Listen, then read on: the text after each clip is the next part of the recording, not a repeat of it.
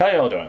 For this next series of reviews, I'm going to go over each of the novels of the John Carter of Mars series, also known as the Barsoom series, by the famous Edgar Rice Burroughs.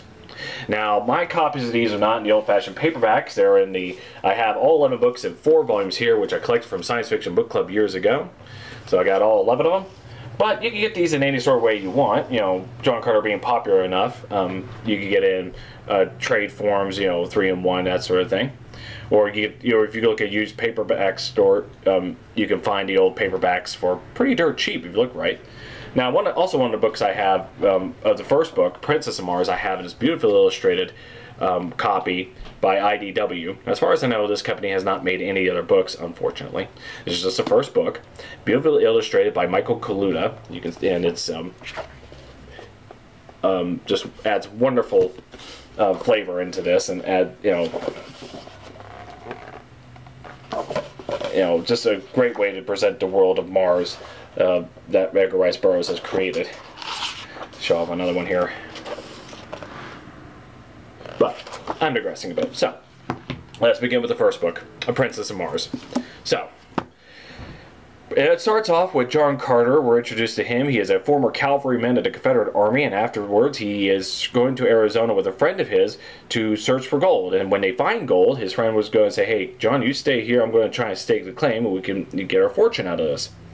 Unfortunately, things turn sour when Apache um, warband comes by and starts, you know, he kill John Carter's partner, and now we're chasing him. He's, you know, you know, they chase him into a cave, and when the Apaches stop chasing him, he lies down, and his body, he finds himself coming out of his body like a spirit, and you know, he gazes on it, his body's still there, but now he's walking around. He walks out of the cave, gazes up in the sky, finds Mars, and instantly is transported there. And that's where the adventure begins. He starts off um, wandering around and having a hard time adjusting because he finds out when he's there, because of Mars being a smaller planet having less gravity and has less of an atmosphere, he can um, jump further and higher than he would on Earth. His muscles, you know, his his muscles able to adjust uh, to Earth gravity. He goes to Mars and he can go much further. So he has a big advantage there. So he wanders around for a while, and he finds out that he's um, he finds this weird structure, and he gazes in on it onto it, and he finds these little um, or, orbital things that turns out to be eggs, and they start to hatch. And behind him are those who are waiting for those eggs to hatch. They're 10 to 10 to 15 feet tall, green. They have four arms they have you know tusks coming out of their mouths, big eyes, mouth, right on the, almost on the side of their heads, noses are way up there. But these are the green Martians of a tribe called the Tharks. So they find him and they take him uh, as a slave at first, and he starts to learn their ways. They're impressed by his ability and all his fighting prowess and all that. So he kind of quickly gains respect, you know, among amongst them fairly quickly. So and apparently the Tharks are um, the Green Martians um, are a very cold and you know callous race. They don't find much joy in anything except in the torturing of others. It's a harsh world, and so they end up being harsh themselves. And they travel around from city to city. These cities are not you know cities of their own creation. They're made by someone else, they're dead cities. They just take shelter there from time to time. Uh, the planes that they travel on are the are evaporated oceans from long ago. So you know, apparently there was more to Mars than just what the Green Martians show. But he quickly learns their languages. He they he has they show him telepathic abilities, which one of the advantages he has, he can read their minds, but they can't read his. Him, he befriends a few of them. He befriends Tars Tarkas, who is one of the higher up um, warriors of the tribe, um, basically second in command to the. Um, I think Tal Hajus, I think, is the leader of the Tharks, who's a cruel um, leader among them. There's Sola. You'll find out her relationship with Tars Tarkas is later in the story. I won't get into that. And then he, he meets a, friendle, a friendly hound for named Woola, who describes you know, it's called a calot, a ten-legged um, monstrous creature, not very um, pretty. They describe as very ugly. Has a very wide mouth that reminds some of a frog. But once Carter get become finds a way to be friendly with him, he's the most loyal friend in the world. So so he stays there and learns her ways for a while, and you know, kind of gets a leg up here, here and there.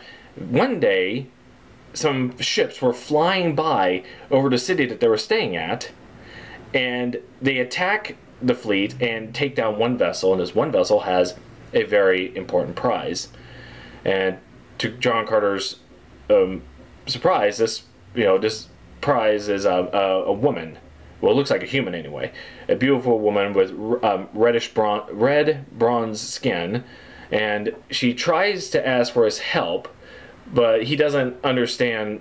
You know, it, um, doesn't understand her at first or what she means by all because he's ignorant of their ways.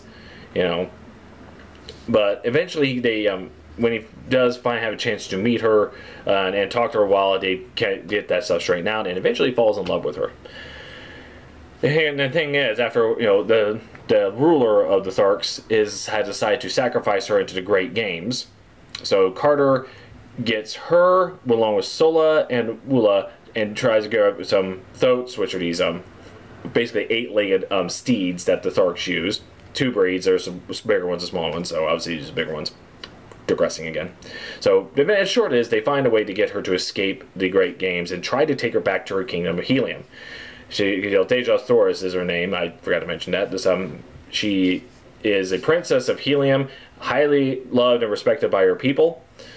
And so, while trying to send her back, they're attacked by another group of green Martians called the Warhoons, and they you know, John Carter says, okay, you guys go ahead. I'll try and hold him off. He eventually gets captured and is taken into the pits where he meets, you know, and while a prisoner there, he meets um, Kantos Kan, who is a man, who part of a fleet trying to rescue. He befriends him and using, you know, they get thrown into the games of the Warhoons. They find a way to escape and they'll meet up again. And, they, you know, Carter finally finds his way to the, um, to the Red Martians and finds out that Helium is at war with another group called uh, Empire um, called Zodanga.